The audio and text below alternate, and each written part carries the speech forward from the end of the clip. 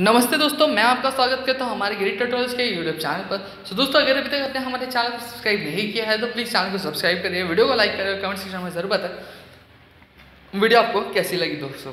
सो दोस्तों, आज खबर हम लेकर आ चुके हैं हमारे कर्नाटक राज्य राज्य से, यानी हमारे भारत देश के कर्नाटक राज्य से दोस्तों। कर्नाटक राज्य की जो सरकार है, वह, जो डिग्री डिप्लोमा इंजीनियरिंग कॉलेजेस है वह सत्रह नवंबर से क्या खुलने वाली है दोस्तों। और जो छात्र है डिप्लोमा और डिग्री इंजीनियरिंग कॉलेजेस के, उनके पास क्या ऑप्शन ये रहेंगे कि वो क्लासेस जो है फिजिकली चाहे फिजिकली या फिर वो ऑनलाइन क्लासेस क्या वो अटेंड कर सकते हैं दोस्तों। उन पर उनमें उन्हें कोई भी ज़ोर नहीं दिया जाएगा कि वो फ़िज़िकल क्लास ही क्या अटेंड करें दोस्तों। सो so, दोस्तों ये रही हमारी आज की एजुकेशन अपडेट एक और री स्कूल रीओपनिंग और कॉलेज रीओपनिंग से रिलेटेड दोस्तों।